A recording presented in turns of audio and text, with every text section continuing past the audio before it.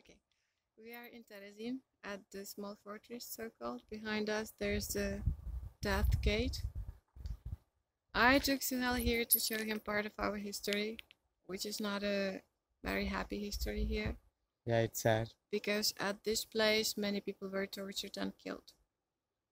Uh, it was during the Nazi rule, and those who were born as Jews, or those who were not politically correct, or th- those who were not like uh, German enough, they were uh, imprisoned here and they were killed here. Um, so for me, it is a very how to say energetically difficult place. I don't feel well at all here. I feel sick. Though I just wanted to to, wanted to show it to Suhel so he knows about our history. Okay, so first of all, ahoy, because that's the first thing which you need to say here.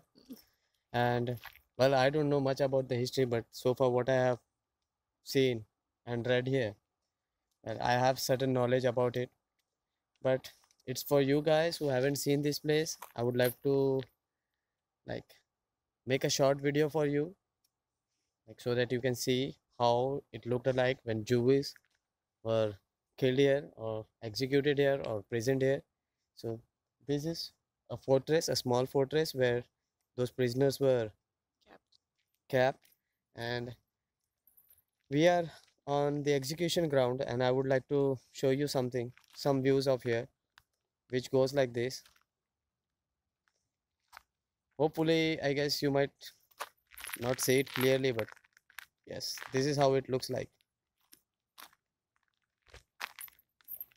Uh, there is a statue saying all like how people suffered. It's all about sufferings. And here it is some I don't know whether you can see there is a small entrance which has the execution part of where people were hanged. Yes, I have taken that picture with me and I will show you to all later or I will upload it on my blog or somewhere on Facebook. So so far, Naskredano. Bye. Naskredano. That's good to know.